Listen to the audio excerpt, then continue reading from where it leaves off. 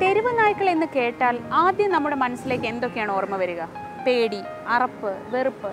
എന്നാൽ അങ്ങനെയൊന്നും അല്ല അവയെ കാണേണ്ടതും പരിപാലിക്കേണ്ടതും എന്ന് നമ്മളെ പഠിപ്പിക്കുകയാണ് തമിഴ്നാട്ടിലെ ചെന്നൈയിൽ ഒരു യുവതി.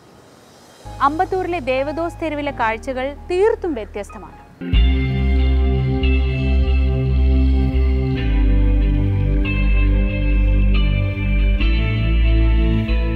World needs a little bit of kindness and compassion and, and a lot of people just have such intolerance towards street animals especially they're dirty they they do this they do that they bite they chase after people. All of these are myths. I would really like to take this opportunity to tell other people that try to do your bit to help others.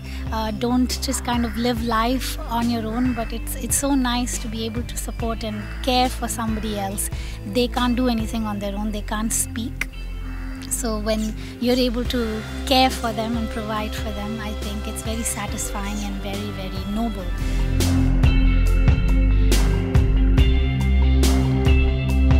മുപ്പത്തിയഞ്ചോളം നായ്ക്കളുണ്ട് Devdas തെരുവിൽ ദിവസവും അവയെ വൃത്തിയാക്കി പൗഡറിട്ട് ഭക്ഷണവും മരുന്നും നൽകി പരിപാലിക്കുകയാണ് അരുദ്രയും കുടുംബവും We currently run a society called Scooby's Animal Care.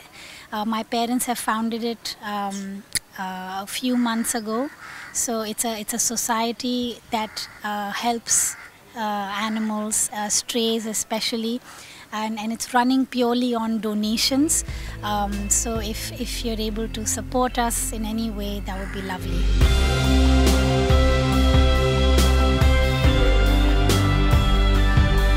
മഴയത്ത് കയറിക്കിടക്കാനും വെള്ളം കുടിക്കാനുമെല്ലാം നായ്ക്കൾക്ക് പ്രത്യേക സംവിധാനമുണ്ട് ഈ തെരുവിൽ The shelter that we've made here is, is also a rain shelter. So in the rains, um, normally the dogs don't have anywhere to go. So we, we built a shelter for them. Medical assistance, sterilizations. So we um, all of these dogs have collars, and they were all taken to clinics, um, for private clinics for sterilization.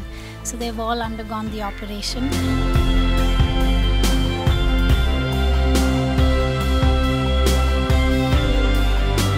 സഹജീവികളാണ്. അവയ്ക്ക് തണൽ പകരേണ്ടത് നമ്മളാണ് എന്നോർമ്മിപ്പിക്കുകയാണ് അരുദ്ര.